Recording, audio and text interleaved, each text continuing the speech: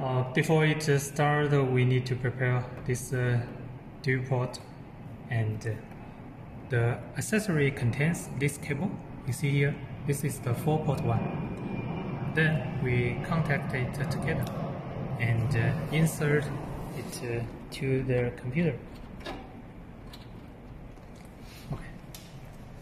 And then we open the software. We will find uh, these tools and uh, double click it. We will find uh, this file, flash tool.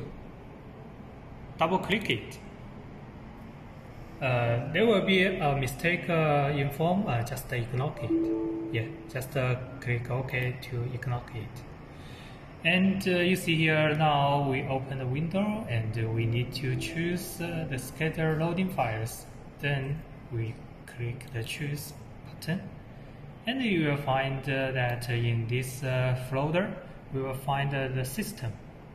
Click it and uh, you see here AC8227L angel scatter. Double click it. Then it will load in and we need to cancel the first line.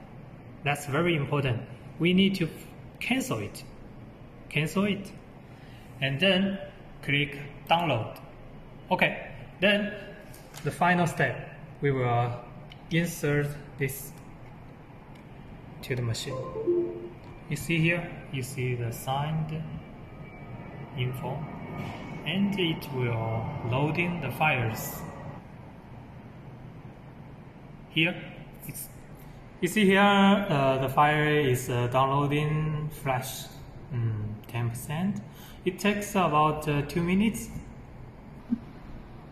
Then after it uh, uh, 100% it will inform that you see you see here it will inform you that uh, download okay. Then just uh, remove the cable. Okay